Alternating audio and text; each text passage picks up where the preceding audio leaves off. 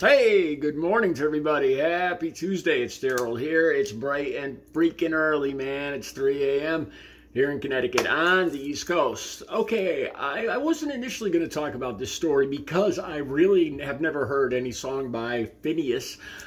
Never even heard of him till I saw this article on TMZ. The article will be right down below so you can see what I'm talking about in case you, you don't know what I'm talking about.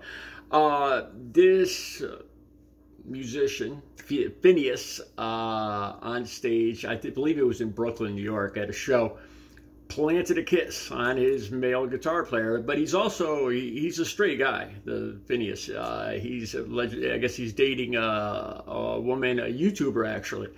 Like I said, I'll be in the link down below. And I got caught up reading this article. I went to Twitter where this appeared, or X, whatever you want to call it, and I read the comments. And I just I want to just talk briefly about this for, for the record. Not that it really matters, but um, I consider myself heterosexual, uh, but I'm very open-minded. Um, I, the first thing that came to mind when I saw everybody counted, a lot of people commented on this. Like I said, the link will be down below to the to the X, uh, the, the the video on X and a lot of people had negative comments for this. A lot of people said they were just queer baiting, and I actually I had an idea what that was, and I actually I, the link will be down below for Wikipedia in case you don't know, because I wanted to just make sure I knew what it was, and that's people who just who uh, appear to be in a same-sex relationship or like a same-sex kiss just for the publicity just to uh, pull in the LGBTQ demographic and without offending people who are very straight laced. I, I, guess that's I'm kind of using the LGBTQ community. And then I saw some other comments, uh, like another comment that said basically the same thing, just just doing this for attention.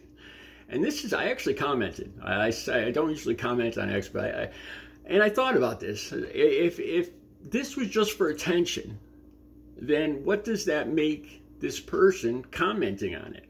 You know, are, are, they, are they looking for it? They're looking for attention, commenting on something that they say is, you know, you, you know what I'm saying? It's kind of uh, hypocritical, in my opinion.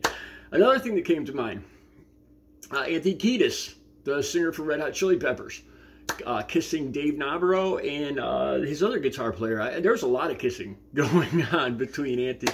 I, have always got a kick out of this. I have. Uh, I'm, I'm not.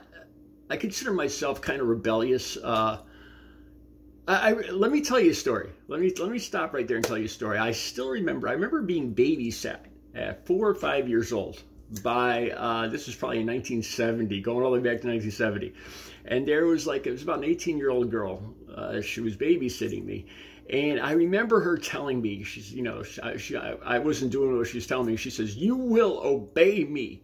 And I, I was, I think that's the first time I ever gave anybody the middle finger. I still remember that. I still, I always remember being very rebellious, uh, doing something you're not supposed to do, as long as it doesn't hurt anybody else. You know, uh, you know, coloring outside the lines, whatever you want to call it. I, I love that. I think that's part of the reason I'm an artist.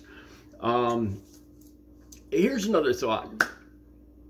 All the violence on TV, just like on regular network TV, if you tune in any uh, any network channel with the you know CSI or those other shows like that, the stuff they show on TV with guns and shooting and all that. You know, that's that's fine. That's is you know American. That's like apple pie. No problem letting kids see that stuff. But a simple kiss. You know, I, I wouldn't even I wouldn't even consider a, a, kiss a kiss like this. I wouldn't even consider it sexual. To me, it's not even sexual. It, it's just uh, uh, a show of friendship, really, uh, or appreciation. Uh, let me tell you guys another story. I actually talked about this in a video before. Uh, like I said, I consider myself straight, but I have kissed. I've I've actually kind of romantically, sexually kissed another guy before. I can't really tell you how old I was in this in this, but I used to live out in the forest when I grew up, and there was there was I had no neighbors, so I had no friends, you know, no, there was no girls. Just and then uh, a guy, uh, a guy my age, moved in next door. Uh, this is preteen years, uh, a kid my age, and we started hanging out.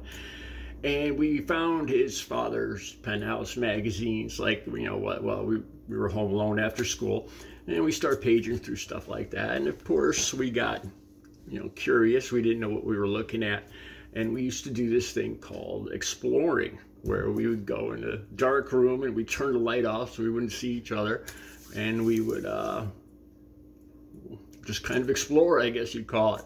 Uh, I, you know what? I think a lot of men have done this. I, I think a lot of men did this in their earlier years uh, you know out of curiosity. You know straight men uh, when they were younger out of curiosity without it's easier to, to, to try something out with your buddy basically than it is with a girl when you're you know that young. You're you're you know you're terrified. You're scared. You're scared. You don't have the self-confidence to even talk to a girl you know and it's easier to experiment with your buddy. And uh that that happened quite that's happened more than once when i was younger. And uh, you know it doesn't change who i am. I'm secure in who i am. You know i would let's see who would i kiss? Uh who do i think is good looking? Uh Brad Pitt. I, you know what? I'd give I'd give I'd give Brad Pitt a kiss. You know what?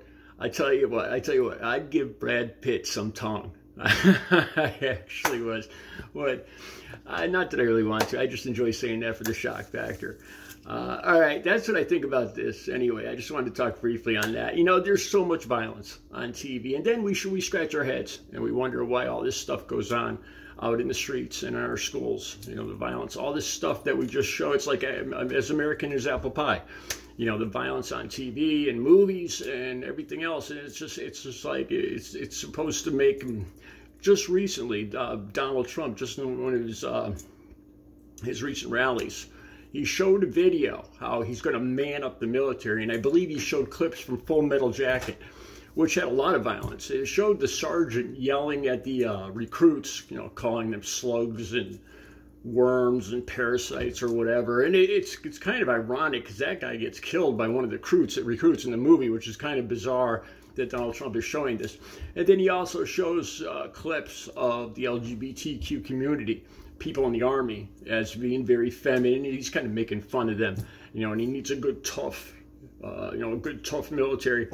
And I think the thing is, you know, I, have had I've had a lot of gay friends, and there's plenty of gay men that are big and masculine. Football players, they're in the army. You know, it, it's so stereotypical. You know that that that real men are supposed to be, you know, tough and big and masculine and muscular, wearing their army uh, their army uniform, and there's plenty of gay men that look exactly like that. So don't judge a book by its cover either. That's what I think about that. Kissing another man, sure, why not? It's just a kiss, you know. It doesn't hurt anybody. That's that's it for today. I'll be back later with another video. You guys have a good Tuesday.